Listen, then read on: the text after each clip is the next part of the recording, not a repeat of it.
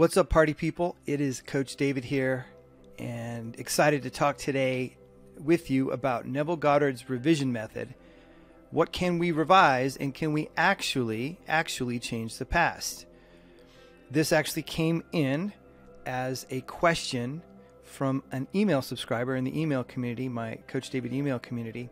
This is a hot, hot topic for anybody that is in involved in Neville's work, Neville communities anywhere on Reddit, YouTube, whatever. But I would even go to say, you know, this would be of interest to anybody who wants to change their past in terms of a more traumatic experience or anything that feels like it holds them back in the present. And certainly Neville was a huge advocate of this method. In fact, the book The Law and the Promise was pretty much entirely about revision. That was all about revision, where Feeling is the Secret is all about eliciting that feeling of living in the end in order to create the reality. Revision is all about basically doing the same thing, but from a different angle, because Neville noticed, as anybody notices in their own lives, and certainly uh, helping, healing, practitioners like myself, creation practitioners, if you will, we notice how much the past gets in the way for everyone, right? Me too. So here's the lovely question I want to show you from Mafalda. Thank you so much for this question.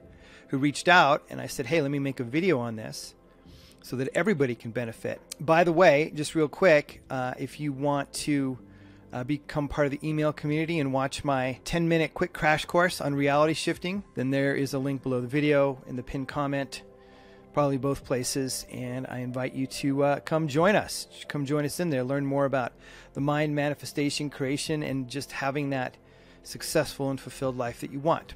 Okay, so let's move into Mafalda's question. Super cool name, by the way. Love that name.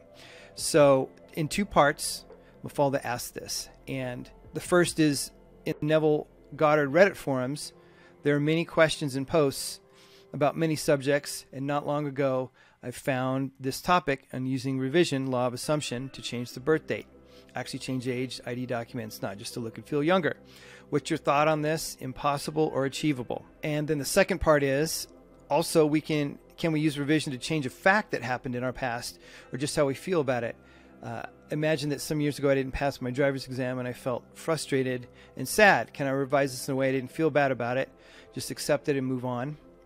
Or can I revise it to the fact that I had passed and been driving all this time. With the first question, I'll give you my take. My take is that is this achievable? I actually do think it's achievable. It's not impossible, however, to actually change in some way that event. However, however, I think it's highly unlikely for all of us in this apparently co-shared universe, if you will. But I do think it's achievable. Now, I didn't used to think this right? I didn't. I I come from a scientific background of sorts, at least in my degree. I have a molecular biology degree. I came from a family that was non religious, non spiritual, just average, regular family talk, caring for each other, but there was no spiritual talk.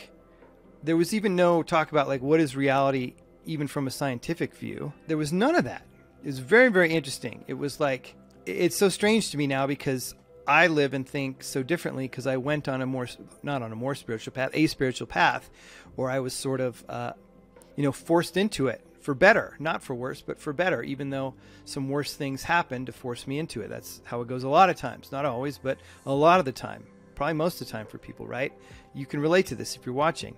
And here's the thing in in things like quantum physics, and I don't know if this ties to this point, but it definitely ties to the point of the past or even the future, there is no evidence that that the past should be different than the future, or, or if there's if if we're able to affect and change our future in the moment of now, there's no reason why we shouldn't be able to change our past. Quantum physics says this actually. It doesn't make any sense. Like linear time does not make any sense.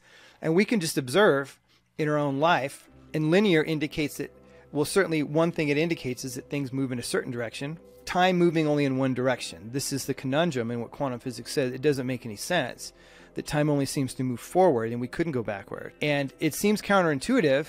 Especially with things like aging and our bodies getting older. But quantum, this is quantum physics. This is sort of the ultimate level of physics currently. And you could say string theory and whatever. Okay, whatever. Like I'm kind of grouping it all together, right? There's a big difference between Newtonian physics and quantum physics. Interesting stuff. Anyways, I don't want to go off too much on that. So I do think it's possible because quantum physics says to, to some degree here that it doesn't make any sense. So that there, therefore means it should be possible in some way. Now, I'm not able to do it in that sense that I'm aware of yet. It doesn't mean I can't or you can't. You probably aren't. But in the second part of the question, and what Neville talks about with it, let's go to Neville for a second. By revising the scene of an accident, the interview with the employer, and so on, could change what seems to be the unalterable facts of the past. But remember my claims for imagining. Imagining creates reality. What it makes, it can unmake. It is not only conservative, building a life from images supplied by memory, it is also creatively transformative, altering a theme already in being. And this is, of course, Law and the Promise, and uh, from my little Kindle book there. You got to remember that one of Neville's big rules is that imagination overrides physical. It is greater, or as is commonly said these days, 4D is greater than 3D. And this is something I have been experimenting with more and more and more. I actually do, I should make a video on something I call 4D painting, where I am sitting in my current reality. If I'm in a kitchen and I paint over the kitchen that I want to be living in, in my new house or apartment or whatever, right, is something that I desire. And while with eyes open, now I've had a lot of practice eyes closed visualizing that allows me to do this. Or if I'm driving my car, I paint a scene that goes and I paint the car while I'm driving.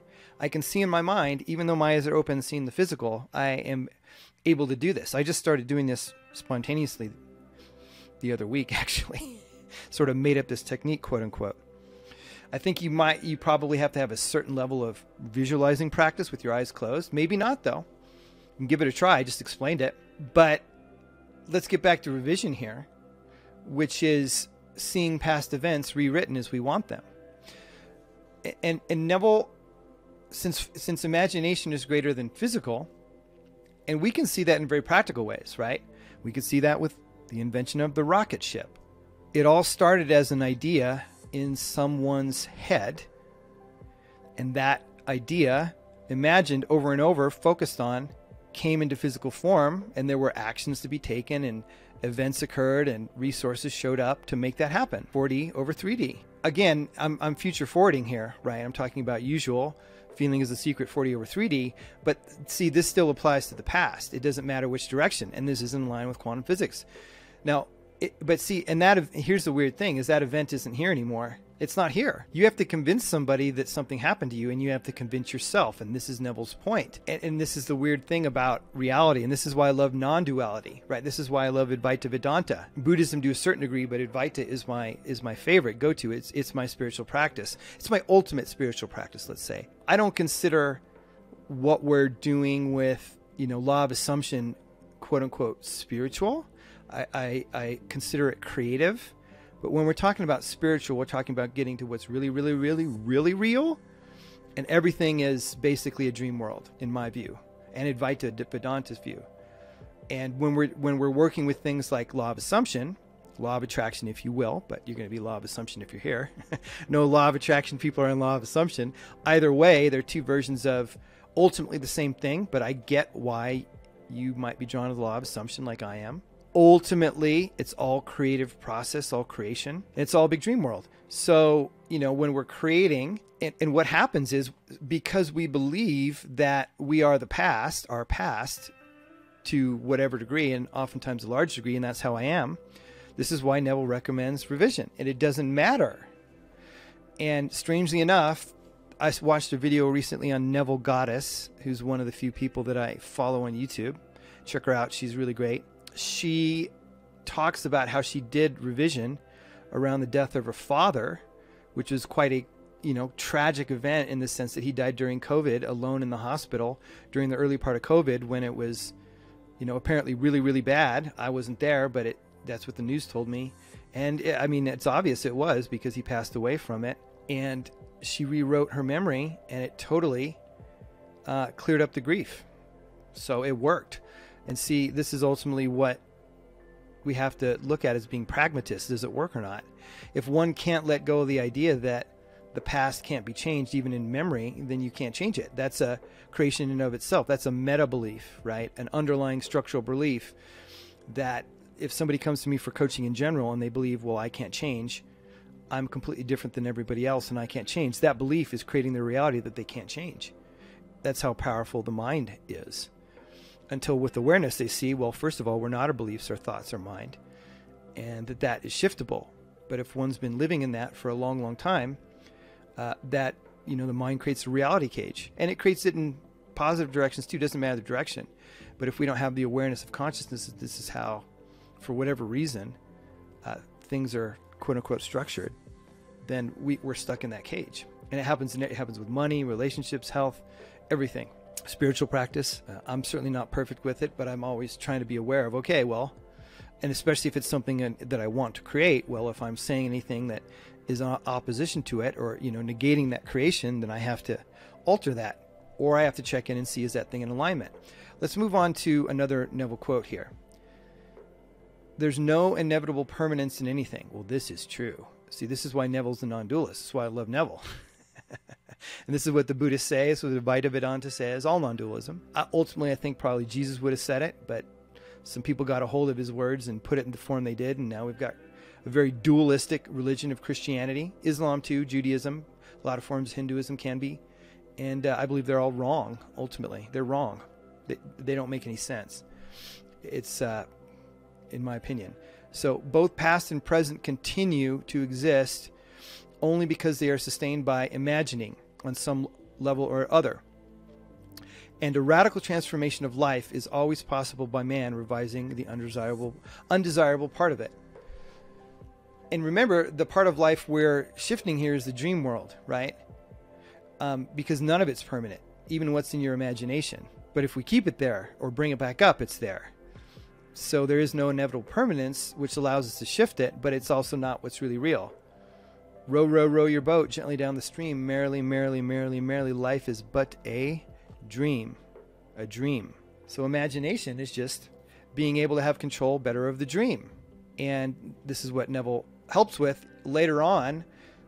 Neville, I believe, tried to, to get away from that more and more, you know, to deeper levels. I think he got a bit stuck um, in ways that he really wanted to teach, but maybe he wasn't there, really didn't know how to teach it. I don't know if he if he experienced it to to the level of non-dual masters like Nisargadatta Maharaj or Ramana Maharshi, um, Vivekananda.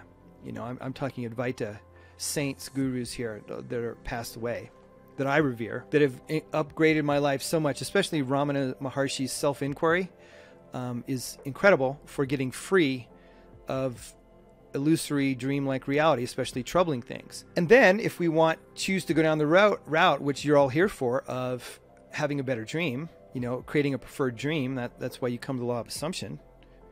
More money, better relationships, better health, better whatever experience, then cool. So I want to go back to Mafalda's question here, which is a great one. So yes, you can revise it. It doesn't matter if it because it's only in your memory now. Where is it? Mafalda and everyone, where is that memory of driving and not passing? It's nowhere but in your memory. It's not in anybody else's memory because they weren't there, quote unquote, to experience it. It's arguable who was there to experience it, even if it was you in this example. we could have that's a whole different topic. This that's way outside the law of assumption, but it's a fascinating one and it can be a helpful one. So it does it matter if it helps you if you revise it and you don't feel bad anymore why does it matter what was true? See this is a trip. I used to think in a very hard concrete things that what happens what happened. Now for sure even if we go to more standard psychological definitions of you know accepting the past forgiving and all this that changes the experience of it. But what also can change the experience of it is to take on different viewpoints so let's say mom or dad said nasty things to you when growing up. Well, if you come from the perspective of, and this is even this isn't even revision we're talking about here. This is like perspectiving, right? Just made that word up, but having taking on perspectives. If you come from the position that mom and dad are big bad mean people and they're doing mean things to you, then you experience that and that tends to be down the road of self-victimization. But if you experience it and you go, well, wait a second, and go a little deeper, why did mom and dad treat me that way? Is it really because they were mean? Or was it something else? And you take on the experience of an often, well, first of all, you come in with compassion, which is trying to understand why. And then you go into their experience and go, let me see what it's like to be in mom's shoes, assuming that mom was in pain or dad was in pain. And that's why they did that, because they didn't know any better. See, now your experience can start to shift. Now you can free up. Now you can start to forgive even though the events were the same, you can shift perspective by looking at why and having compassion. But of course, we're taking to another level here to where instead of doing that, you would see mom is loving or dad is saying loving things to you, right? Saying encouraging things. And if you imagine that, you will start to feel better. The trick is you have to let go of the fact that it doesn't matter of what quote unquote really happened and of course neville's thing is going to change your reality line it's going to change your whole assumption right and therefore future forward you're going to respond differently. That's what neville is saying. You're going to create differently. And why not go back to the past? Because if you're trying to future forward it and saying here's my vision i want this but you keep having that lagging thing in the back of your brain or you can feel it in your body it's just that resistance. This is why neville created revision i believe. It has to be why. Uh, I've been playing with it around certain things. With you know, it's great, especially with parent stuff. And let's say with my mother who's passed away, and I I feel better about it. I even you know, uh, I even play with the idea that she hasn't passed away, and I and feel her presence here. And I'm telling you, this is so crazy for me to do, coming from a background to me with a molecular biology degree. You know, believe physical reality was the not the ultimate ultimate but that it was very very real. I think we all have a sense if we take a look and just kind of quiet our mind that something greater has to be going on and this just physical world can't be it even though it, there's this sort of trick that it seems like it is. Very very strange. But that that's only through a certain part of the brain i think or a certain part of uh, our apparent consciousness. Mafalda anyone watching this you can revise the fact. Yes and to me, these are two different thing, two different questions. If we're talking about actually changing the event, well, we can't know that. Just like in quantum physics, we can't know if the past is any different than the future or if it should be. And in the movie What the Bleep Do We Know, a, a very astute quantum physicist says this. He says it doesn't make any sense in quantum physics why you can't change the past if you can apparently affect the future. There's a great mystery called the mystery of the direction of time. There's a certain sense in which the fundamental laws of physics that we have don't make any dis interesting distinction, say, between past and future. Um, for example, it's a puzzle from the standpoint of the fundamental laws of physics. Why should why we should be able to um, remember the past um, um and not have the same kind of epistemic access to the future. It's a puzzle from the standpoint of these laws why we should think something like by acting now we can affect the future but not the past. So yes, go go for it, Mafalda. Do it. And just all that matters is you shift it in memory and how you feel, and then you follow the feeling. Why? Because the feeling is a secret. And if that feeling also connects to what you want to create, then then great. Or or it unblocks you from what you want to create. That's all that matters. That's all that matters, okay? Don't let anybody tell you anything different. Definitely don't let mainstream society, oh, I'll have to bleep that out. Don't let mainstream society tell you that. The authoritarian uh, institutions, because their agendas are far different than help helping you uh, have a wonderful life and experience or see, see, finding out the truth. They're not about that. And this is not conspiratorial, although a little bit of anger comes up. I should revise that in me this is uh, a power that any of us can use because it's also proven that memory isn't reliable. This is neurologically proven. See, science, it's so funny. Science is proving more and more and more, from my view, what spirituality has been saying for a long time, especially things like non duality, but it goes in alignment here with law of assumption as well. So there you go. I would love to hear from you in the comments below. Please do drop a comment. Sign up for the reality shifting quick training, get on the email list. Lots of good stuff coming your way. And until next video, we're complete. See ya.